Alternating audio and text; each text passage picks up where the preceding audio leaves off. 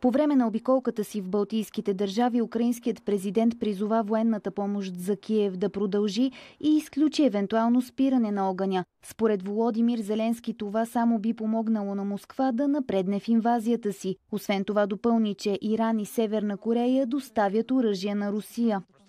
Тази пауза ще помогне на Русия. Те не издържат, но и светът не издържа да запълва складовете на Украина. Въпреки това, днес светът помага на Украина, а Русия изпитва дефицит. Виждаме как този дефицит се отразява на тяхната стабилност на бойното поле. Допомагає Україні Естония ще отпусне 1 милиард и 200 милиона евро за Украина в периода до 2027 година. Според президента Ауър Карис, Европейският съюз трябва да произвежда повече оръжие, за да отговори на нуждите на Киев. Междувременно Белгия обмисля да предостави всичките си изтребители F-16 на Украина, а в Харков съобщиха за ранени при удар с две ракети С-300, след който е избухнал пожар. Стигнало се е до евакуация на жители в района. Според местните власти силите на Москва са атакували града за четвърти пореден ден. По данни на Украина, Русия е изстреляла над 500 ракети и дронове между 29 декември и 2 януари.